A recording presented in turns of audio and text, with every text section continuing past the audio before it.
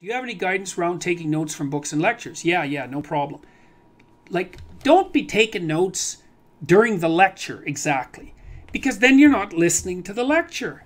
It's like listen to the lecture and then take notes afterwards. Now that doesn't work for every discipline, but but it certainly works for disciplines like students in my lectures. I always tell them don't take notes during the lecture. Listen to the damn lecture. You can take notes afterwards because what that does is force you to practice remembering. And then with regards to books, it's like read, don't highlight, don't underline. Like that, I think that that's just rubbish. I think it's pseudo work.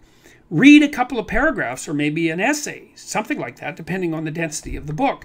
Close the book. Think about it. Write down what you're thinking. Write down what you remember. But but but in the context of what you're thinking about because that instantiates it into your memory and give and puts it at hand. Like people ask me for example how it is that i can remember all the things that i talk about extemporaneously when i'm lecturing. And the reason for that is because i've thought them through. You know i read them and i think oh okay well that's an interesting idea.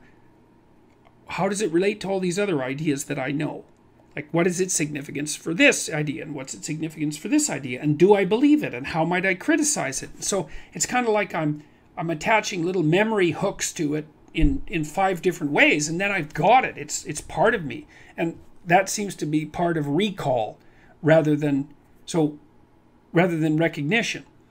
And recall is the spontaneous act of remembering something complex. And when you recall something, you're actually practicing remembering it. And that's what you need to do if you want that to be part of you.